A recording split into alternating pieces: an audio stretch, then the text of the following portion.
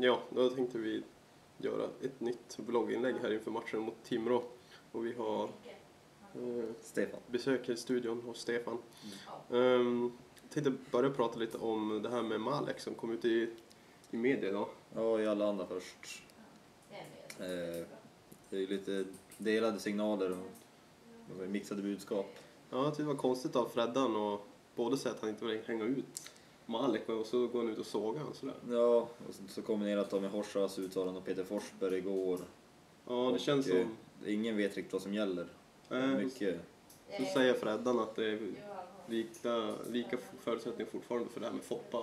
Ja, Medan Horvath går ut och säger att det är... sågar alla möjligheter egentligen. Ja, det är lite konstigt när det kommer olika information från olika håll. Kan man ju tycka.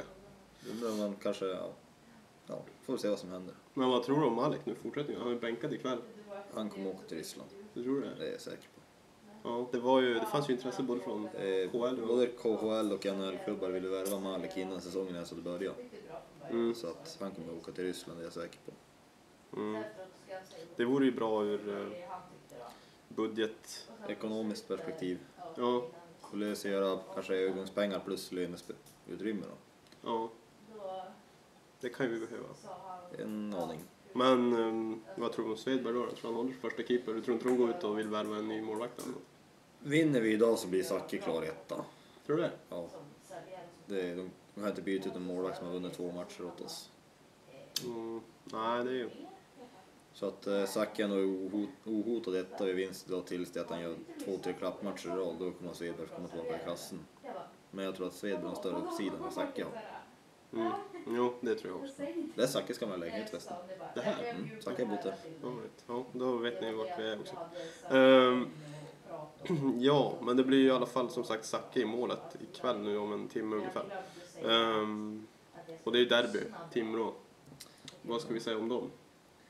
De har ju fått in artistspelare nu, Sonneberg och Kaslava. Så att de har ju lite större uppsida nu än vad det var förra matchen. Mm. De har ju något mer spets än vad vi har för tillfället. Och det är Mm. skador på nyckelspelare. Mm. Vad tycker du om uh, Horvas uttalande där då? När han går ut och säger att eh, han inte tror att det kommer bli någon fartfylld match utan att det blir ställningskrig och... Jag gillar inte hans inställning. Att, som var sagt redan från början att vi skulle spela fartfylld stenhård ishockey. Som är mycket skridskoåkning. Ja, det har inte blivit så mycket av det. Det känns som att han ska gå in med inställningen att det ska vara fullt ös från början. Att de ska inte få en lugn stund. Mm. Men samtidigt är ju båda lagen i ganska utsatt position nu så Jo. det kanske faller sig naturligt att det blir lite krystat.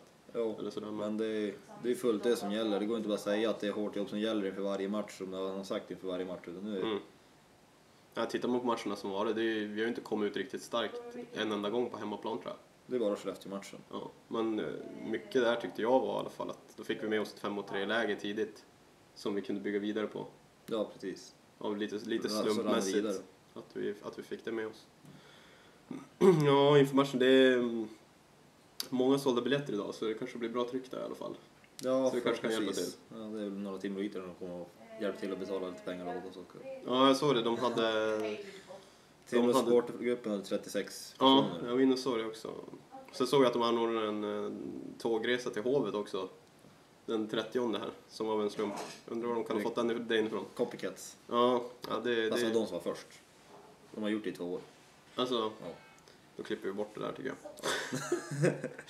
ja, nu ska vi äta tårta och ladda inför matchen här så eh, hörs vi kanske efteråt. 3-2 till Modo. 4-1. Hej då.